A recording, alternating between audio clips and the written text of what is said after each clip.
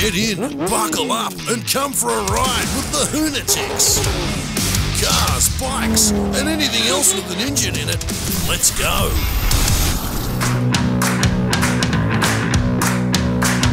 A Snap on franchise is a tool to your freedom, and we currently have franchise opportunities available across Australia.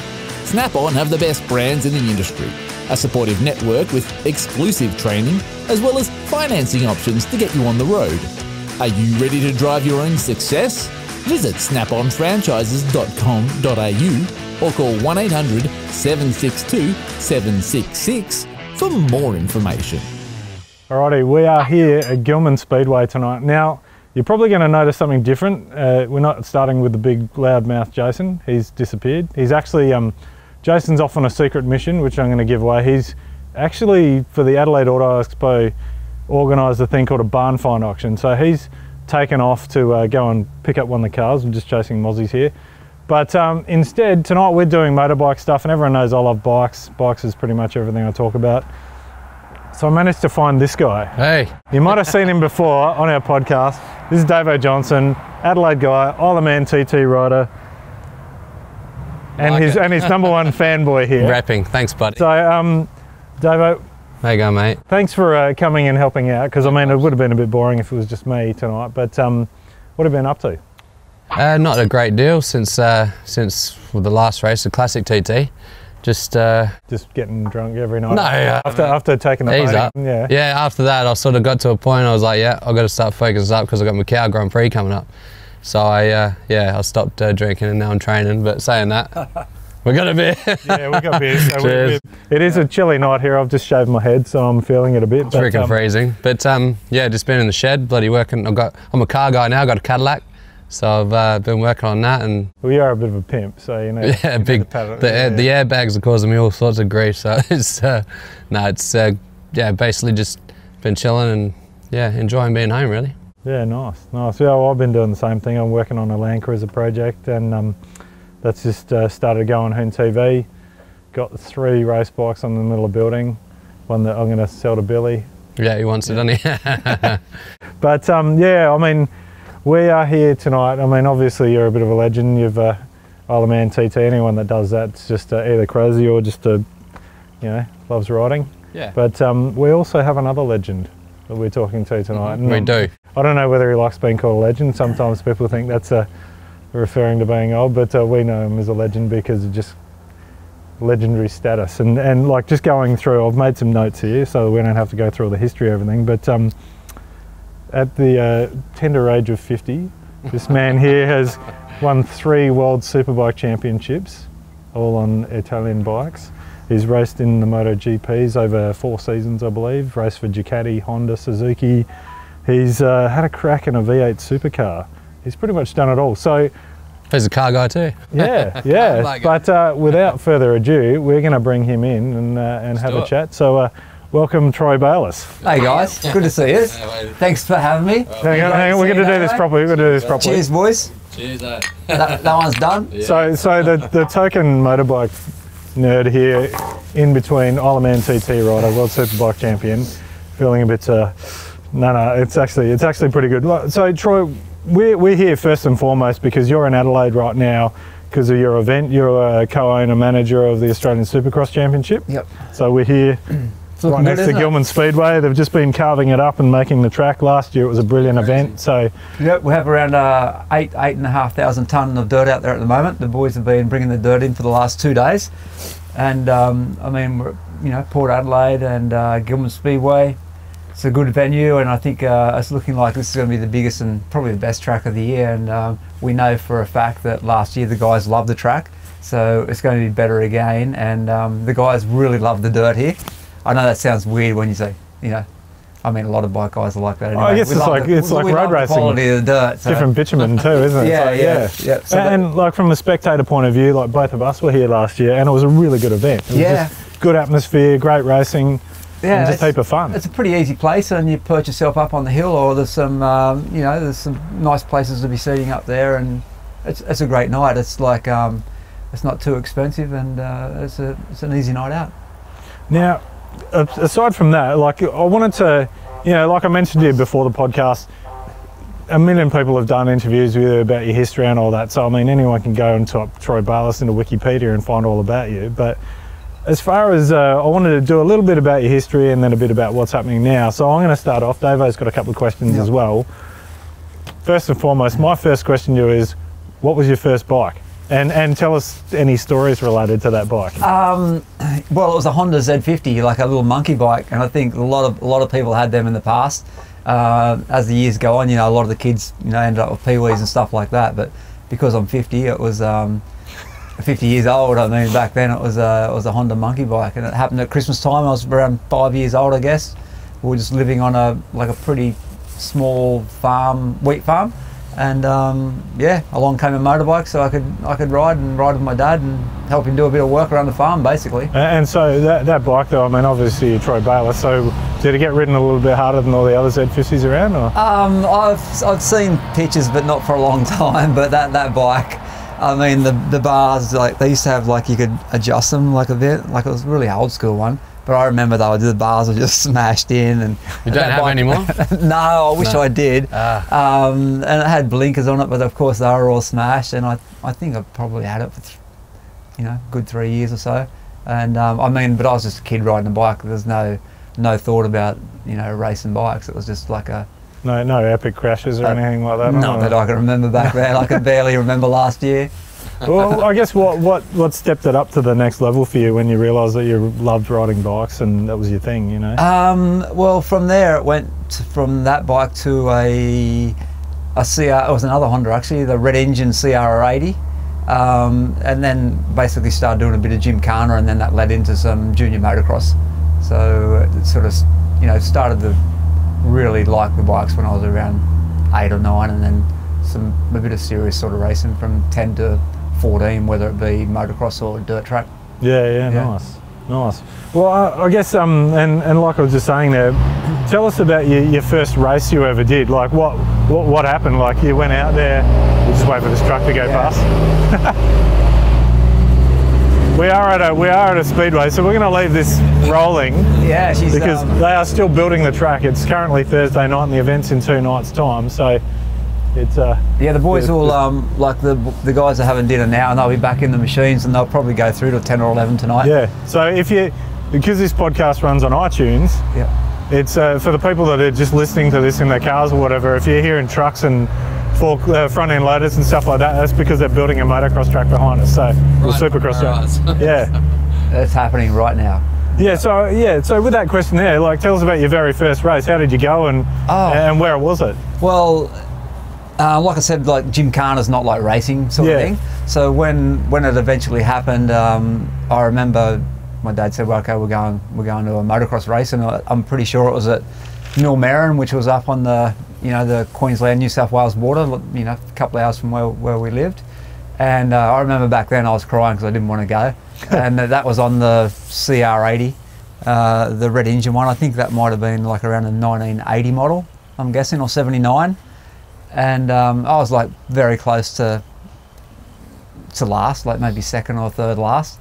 And um, we started going to a few races, and that happened like that for quite some time. Um, um, You finally found some talent eventually. well, it was weird. Um, whether it was that year or the following year, like a, an, another a new bike arrived, and it was a YZ80H, and um, it was school holidays, and all I did was ride every day. And then when we went back to racing the, the following the series that we were doing, I guess it was the Queensland Championships.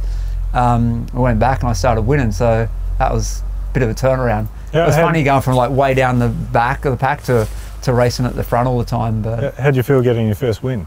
Oh, fantastic! Of Yeah, course. yeah. I mean, nothing just like there's more, nothing yeah. like winning a race. So, I mean, we we did a lot of racing around that area, um, but we didn't really. We weren't crazy like into you know like following races all around Australia and, and doing it week in week out. We just go every few weeks to a race. it was mainly dirt track, not not so Uh, much uh, motocross. Mainly motocross then. Oh, it was motocross. Yeah, and then we moved back into because originally I was from Taree, the mid north coast, and we moved back in there when I was around 13, and um, that's when I started doing dirt, like proper dirt track, uh, because we had the old bar roadside circuit just down outside of the town, so we used to ride there quite often. Yeah. But back then, like Um, that was like mid '80s, I guess. And like back then, if you were a member of the club, you had everyone had a key, and you could go and ride out the track whenever you wanted. So you could go after school, good have a ride. and- yeah, not like that anymore. No. No. All right. So, well, moving on. I guess um, I wanted to talk about a bit, a bit of other stuff. Like one thing more recently, that that age back then, you're now the second coming. You've got Ollie. Yeah. So tell us about. I mean, as a racer and stuff like that, what was it like having a son, and you know, not knowing for him what was going to be his future, and now having him in bike racing. How's that all sort of evolved? And Yeah, it's a weird one um, because mostly when we took off over to the UK back in '98, uh, Mitchell and Abby were really young. Like Mitchell was probably two and a half, and Abby was, you know, one and a half. Or you know, the kids were so young, so we took out, took off over there, and our kids were like, you know, used to come to the tracks all the time, and feel, feel like they missed out on, a bit of stuff.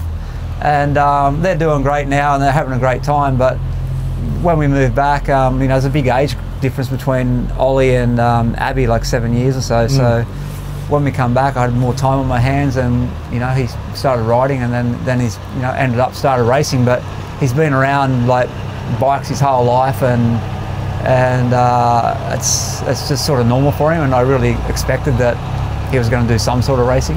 Was it? Yeah. Was it? What was the thought when you uh, first took him out there? Was it quite a nervous moment for you, being a, a Um, dad, and like, because obviously you're like on the other side of it, and now all of a sudden Yeah. you're you're like the dad and your kids riding. That must have been like pretty uh, pretty well, weird feeling. We started off in, in kart racing, and then, uh, long story short, that crossed over to bikes, and you know, he did dirt track and not really motocross, but you know, just fun riding and stuff like that, uh, which finally led into the road racing. And I remember the first. Well, we used to be able to go up to extreme karting on the on the kart track there, Yeah. and um, so I helped like get him going there, and we used to ride together a lot and had so much fun there. It was incredible, in, incredible place to ride. Um, and then we went to his first like proper race, which was at Morgan Park, and um, he was on a little metric kit, um, Little 80cc 80cc or Yeah. something, yeah.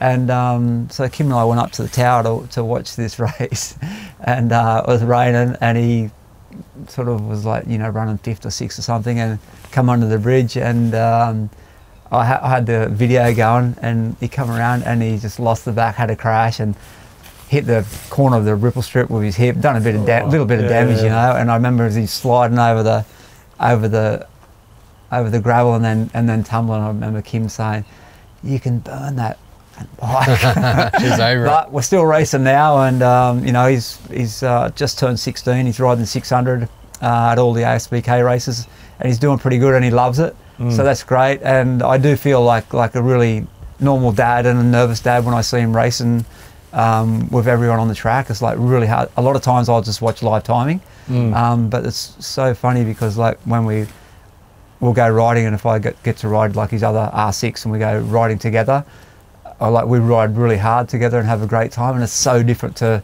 being on the sideline and watching him go past at full speed and riding with the other guys. It's like I'm completely nervous wreck. Is it still easy to stay with him when you're Uh, riding with him? Yeah, it- like it's getting getting pretty close. I've still got a little bit up my sleeve. Yeah. not much. I'm not, only depends on which track we're at. Um, but like places like Morgan Park, I'm only good for about three tenths. My best time is like three tenths quicker than him at the Yeah, moment. right. Um, so he's picking it up, and um, but I feel like I can't like teach him too much more now. It's got to come from when he's riding and learning the other guys. I just help ba- ba- help basically get him started and teach him the basics. Does he listen to you when you got some advice, or is it? Yes and no. I know I didn't listen. Yeah. I didn't listen to my dad too much. I yeah, mean, no, it's yes it and no. good- yeah, good Um, advice, but I didn't want to listen to it. You know. The thing is, like that, I know now that I know that he wants to do well, and Mm. like, especially like when they get on bigger bikes, you, it's so fast. You don't want to be, you know, just got to Uh, let him go. Would you, comparatively speaking, yourself and him, like obviously he's the junior version of you, but as a rider, would you say he's just got a heap of raw talent, or he's learned a lot from you over the years, Or I think um, the, I think he's learned a lot over the years, but also one thing that's definitely helped him is like when I started, we knew nothing about bikes. Mm. So I'd be crashing my brains out and things would be going wrong. And because we were learning from scratch and basically run around in circles. Yeah. So what I've been able to help do is like have the bike basically a good bike to start with, Mm. and um, especially with the R6s, there's a, a range where you go in like where the bikes are going to be good anyway. But I mean that can make a big difference, like from kid crashing a lot and getting the confidence knocked out of them. Yeah. So I think a lot of things like that have definitely helped along the way.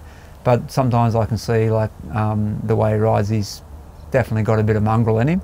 um, but when I watch him, he's definitely a smooth. I think he's a smoother version of me, Mm. where I might have been a bit more rugged. Yeah, well, I guess the, the hardware these days as well, and that was probably is probably less related to ASBK and stuff like that. But um, going back to your racing, uh, when you were like right in the thick of it, back what was that, 2008, when you retired, Yeah. like how would you compare the bikes and the actual racing from then to now? Like, you know, do you think it's easier now with the equipment, or I think they're going pretty.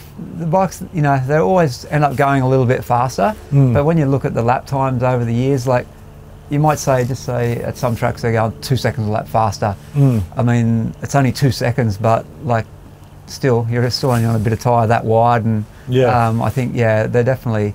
I think every sport's taken it to the next level a bit. Yeah. And I think it looks like they're riding just more percent over, the, over the limit a bit more often now. Um, whereas what I think we used to be able to ride within the limit a bit, and every now and then you have, to go outside the way. But you know, a lot of people used to say that they'd watch me ride, and and I I always looked like really not out of shape, but like wild. yeah, And but I think maybe the way I had the bike, I used to have to just wrestle a little bit more, and it just looked a bit untidy Mm. because I never used to really feel like You still look more tight, more tidy than uh, Fogarty ever did. here's a wild man on Oh, the bike. mate. when he grabbed the brake, he'd jump up, and Yeah, like yeah. everything looked exaggerated. But yeah, he certainly uh, did some wind in his time. That's oh, for sure. yeah, that's it. Yeah. I get uh, one controversial question I've got that's not really related to you, even though you raced against Rossi. Um, was this whole thing these days with people saying, "Oh, you know, Rossi's getting old and stuff like that," but he's still right up there. Yeah. But the the thing people saying that Marquez is the best rider in the world and all that sort of thing, I still like. I'm a bit of a Rossi fan. I'll Yeah, I am that. as well. And I sort of think of it and I go, well, he used to race 500 two strokes and stuff like that, and now Marquez is on the electronic masterpiece. Yeah.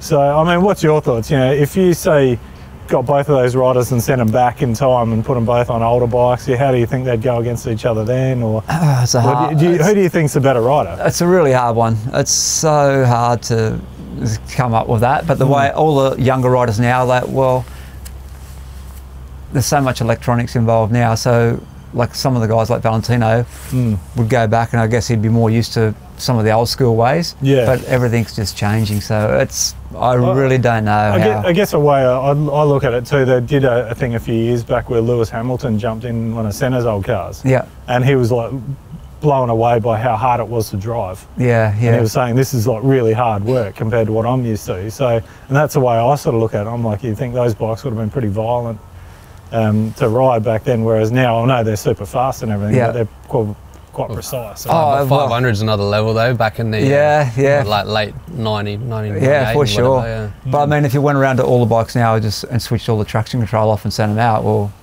we would have like plenty of people going to the moon. yeah. Like, Well, and, and uh, like I had a question here where I was sort of, um, so you spent some time in MotoGP. yep. A- And so they're probably the epitome of bikes and stuff like that. What's it like to ride a MotoGP bike? I mean, it's like any bike rider's fantasy to ride. Yeah, something I that. mean, like basically you're riding the the best that can be built and can be bought. So that's the cool thing about it, definitely. And um, I didn't really. I haven't thought about it for quite some time, but I mean, like, I'd be, I'd love to jump back on one now and have a ride and just see, feel the difference again now. You know what I mean? Mm. Um, to see how far they've sort of come along and see how if they are easier again to ride, or because I know from when I started with Loris with the project back in 2002, and then when I jumped back on the bike in 2006 and had that win at Valencia, how much night you know how the bike had progressed. Yeah. And I just it'd be interesting to see again now on where they're at. I mean, you see it on the track, and I mean they're riding really fast, and the styles of the riders have changed over the years, the way they're riding them a little bit.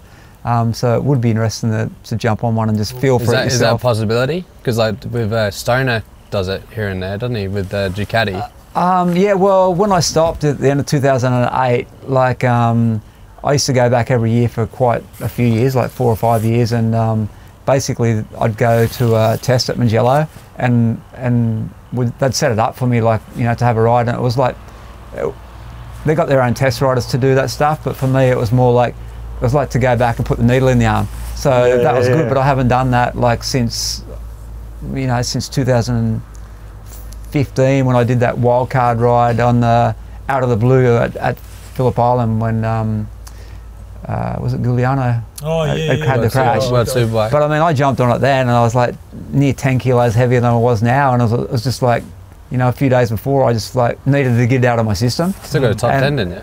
I think seventh or something, I can't remember. Uh, threw myself over the bars at, at uh, Lukey Heights as well, but I landed on the landed on the down ramp type Oh, of thing, so it that. was, was was, on it was a real in- soft landing. Yeah, Yeah, it was a weird one. Yeah, yeah.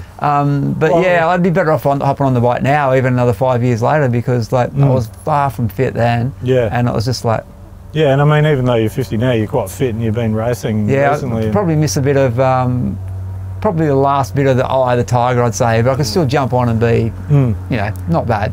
yeah. Yeah, Uh, well, I mean, hey, uh, MotoGP's coming up in a not too far from now, and you'll be there. And Jack Yep. Miller, if you've got a spare bike.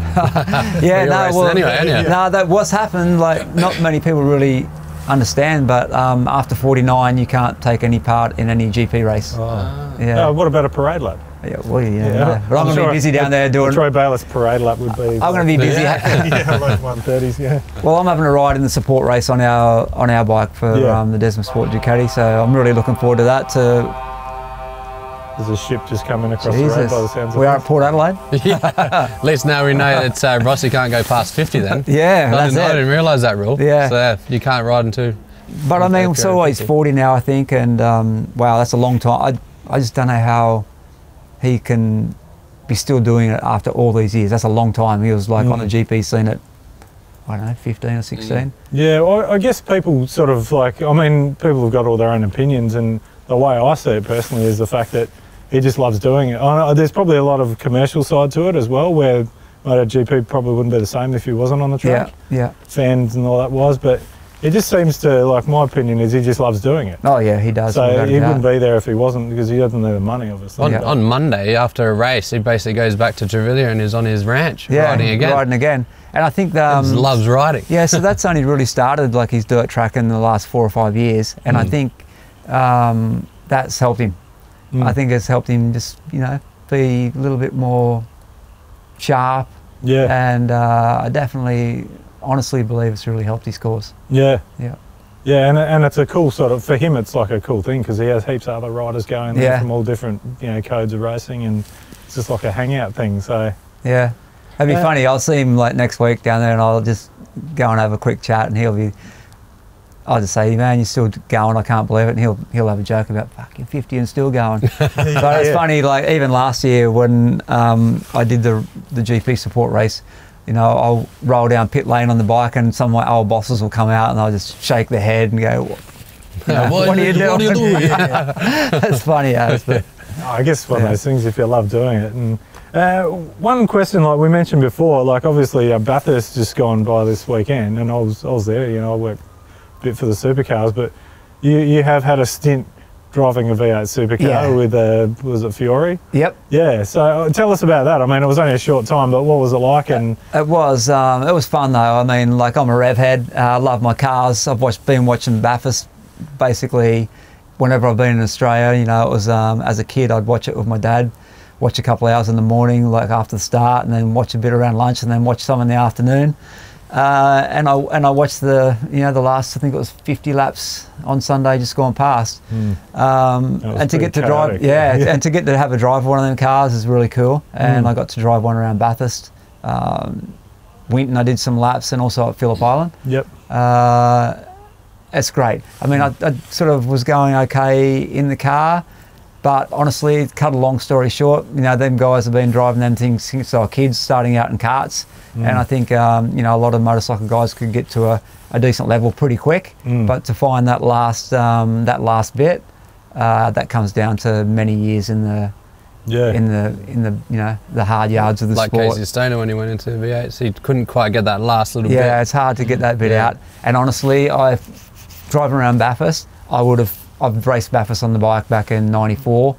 I would have felt safer on a on a bike riding around Bathurst than I did in the car. Like, I'm not joking. Um, it's pretty hectic. Yeah. It's pretty hectic. And actually, I crashed um, at the Hayshed in a Carrera Cup car. I was doing some Oh, yeah. uh, a couple of races with Mike Patrizi, Yep. and uh, I had a crash there and knocked myself out in one. Mm. And that Did you roll it? no, it just went real fast. hit, yeah. Off the grass was wet, and I went into the wall. I done so much damage to his car. Sorry, Michael.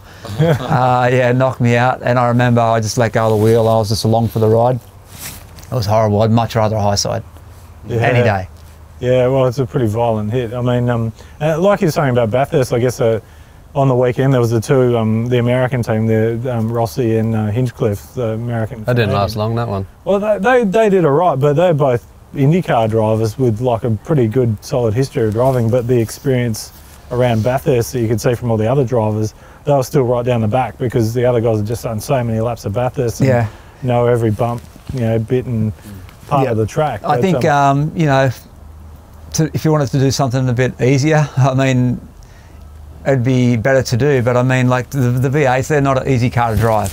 I mean, they're they're they're a weird they're a weird thing. They you know all the guys talk about it. Then even like a top European Porsche driver or whatever can come over, jump in one of them, and they can struggle. Yeah. So yeah, that's how it is.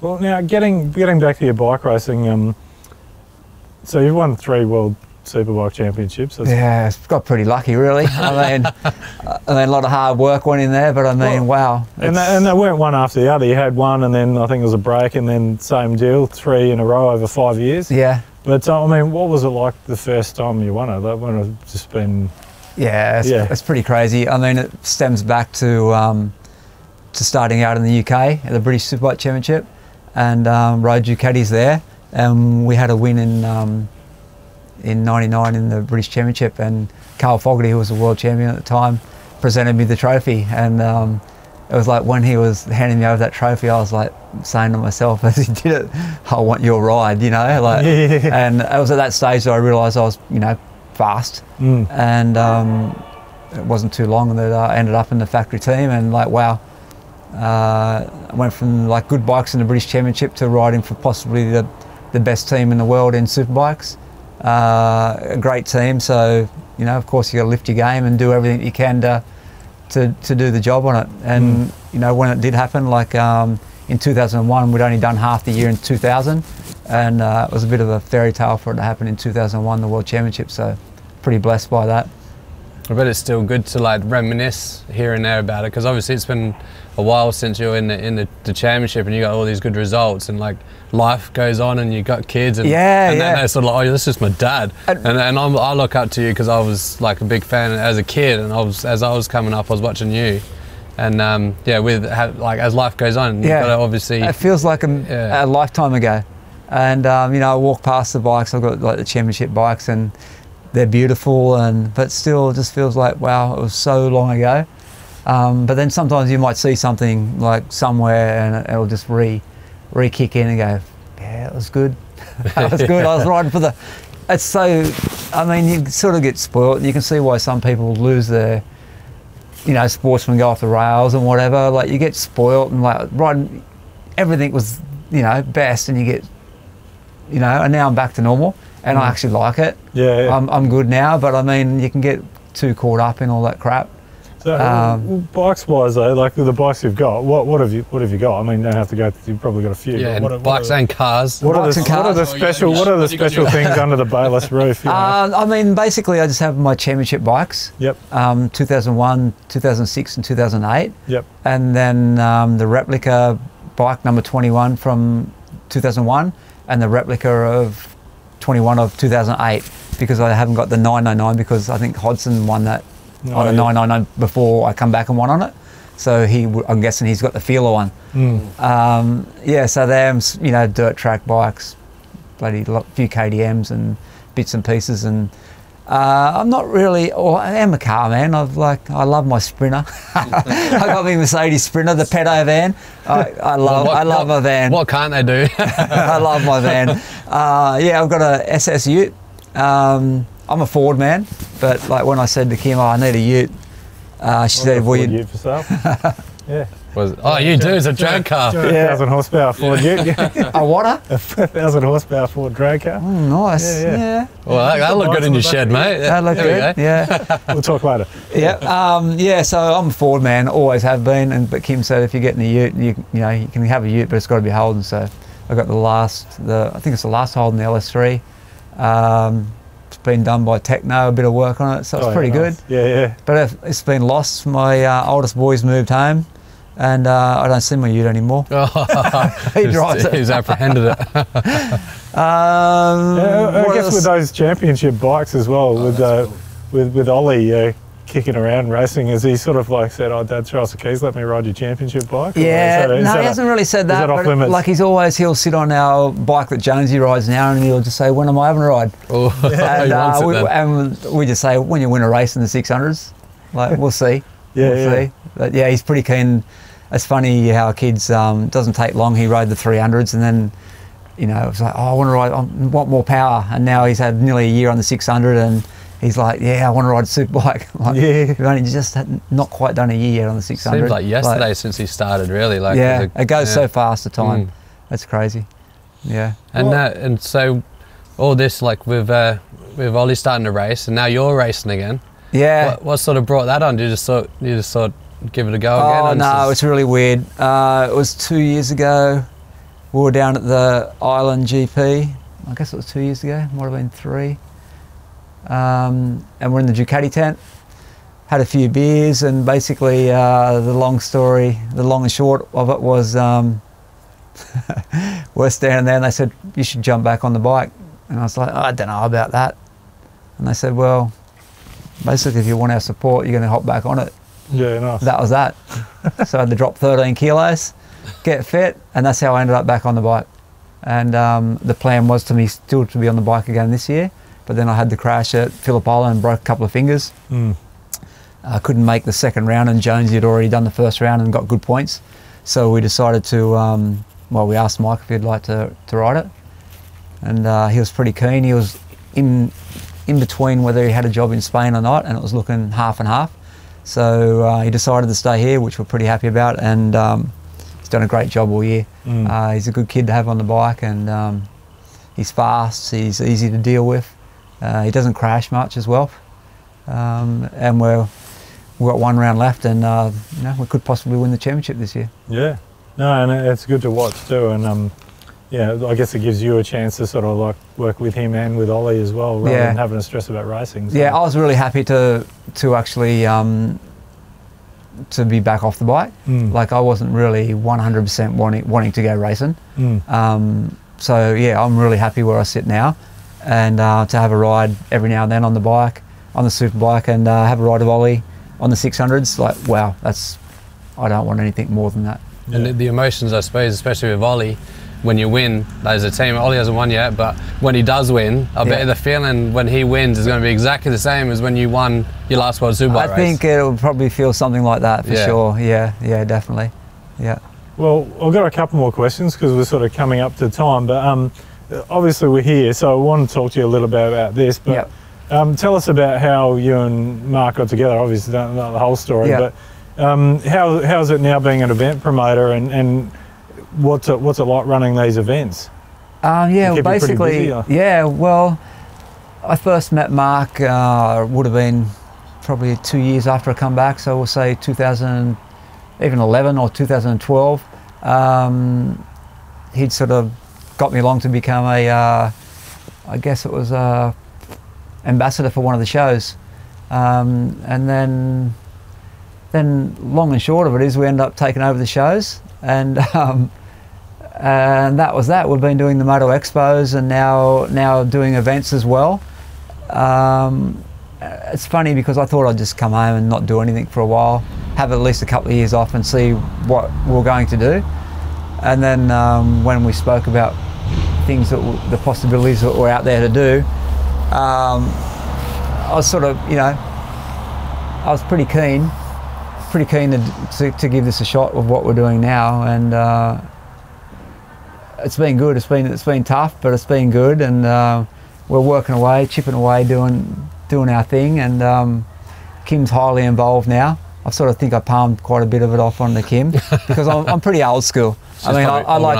I like like working like physically, but Mm. like for me, give me paperwork, it's not really going to work. Yeah, yeah. Um, Well, it's good. So I guess- we, turn up here and you're around moving stuff around. yeah, and, it- you know, yeah. it's um, my name's behind it, Troy Bayliss Events, Mm. and uh, of course, you know, I probably know some of the right people for things to happen sometimes and whatever, but and also it's good for me to be involved with the whole industry rather than just Ducati all the time because I was Mm. sort of known as just you know Troy rode Ducati, whatever. Yeah. But now with the shows and the events that we put on, we deal with all the all the motorcycle industry, so it's pretty cool. Um, but honestly, Kim and Mark themselves, um, they work so hard behind doors to, to make all these things happen. And uh, we've got a good crew when we come to these events to uh, to to actually make it happen in the end. But there's um, I know for a fact that uh, doing gigs like this is a, a lot of hard work and a lot of hours put in, and uh, it's tough. But we keep riding it out, and uh, we'll see how it goes. We've got a lot of things coming up. We've got this weekend happening, and um, it's not too only a few weeks away. A few weeks away, we've got the Australian Motorcycle Festival, Yep. and also the third round of the championship at Wynn Stadium, and the Motorcycle Festival will be at Lang Park beside it. So uh, we're hoping that that's going to be a really, really good one for us. We're going to change it up a little bit. Uh, the the motorcycle expos, you know, normally uh, at convention centres and stuff like that. So yeah. world's been pretty tough the last few years, and uh, we're hoping that this way, the new way that we're going to take it, taking it outdoors, uh, it's a good time of year to do it. But I think it's going to make it easier for everyone to do, Yeah. and uh, it could be could be really cool.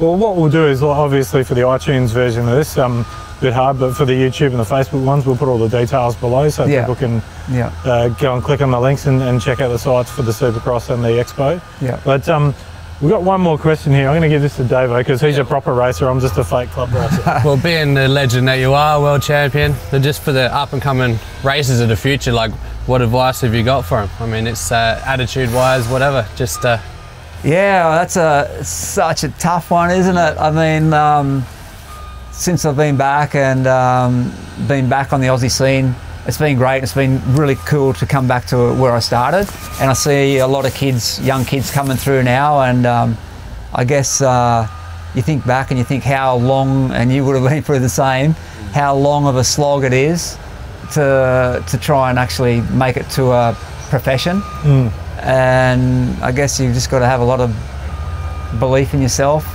Uh, you got to be a bit of a tough nut too. You got to you got to tough it out. There's so many hard times you go through, and like I don't want people to sort of like be on a downer, but I look back on it now and go, how the hell did we do that? Yeah. Like I could never do that again.